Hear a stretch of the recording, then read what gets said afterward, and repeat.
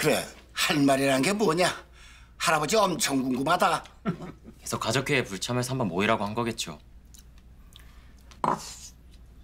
형 소식 들었지? 무슨 소식?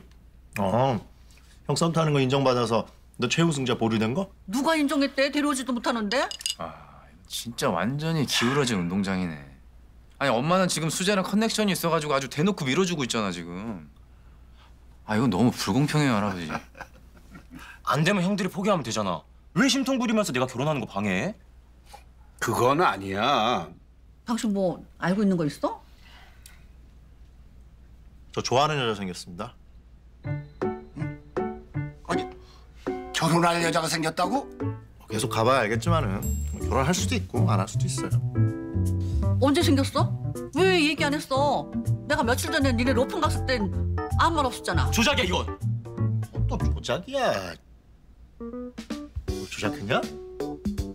맞네. 네가 조작했으니까 남도 조작한다 그러지. 아, 아니야. 내가 조작할 게 뭐가 있어. 어, 어. 아, 난 유나 데려왔잖아. 형도 데려와 그럼. 아니 좋아하는 여자가 생긴 건 맞는데 아직 데려올 생각은 없어요. 왜? 어? 아이, 아 쪽팔리잖아. 아 아파트 준다고 결혼하자고 집에 가자 그러면 날 뭐라고 생각하겠어? 그게 사랑이야? 아 어쨌든 결혼의 기초는 사랑이라고 봐요 난. 네가 그렇게 말하면 유나는 뭐가 돼? 그러니까 우리 유나가 엄청 괜찮은 거지. 그건 그래. 그래 이 현재 말도 일리가 있어. 예, 일리가 있어요. 우리가 아파트를 건 거는 결혼에 동기부여 해 주려고 그런 거잖아요. 서로 마음에 맞는 좋은 짝 만나라고 판 깔아준 거야. 어? 그래요. 근데 그게 아파트 갖기로 변질되면 안 된다고 봐요. 저도 동의합니다.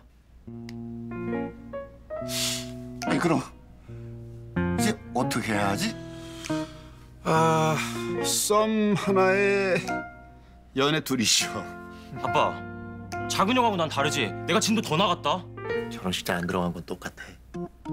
아버지, 그래도 우리가 이걸 하길 잘한 것 같네요. 애들이 뭐가 생기긴 했네요. 다 내 덕이야. 내가 이거 하자고 했다? 그래 이게 다 애미 덕이다. 그래서 말인데 엄마, 아빠, 할아버지가 규칙에 대해서 의논을 다시 해볼게. 응? 변수가 생겼으니까. 어, 전 좋아요. 이수재 나대는 거 안 봐서 난 너무 좋아. 형들, 우리도 인원 좀 하자.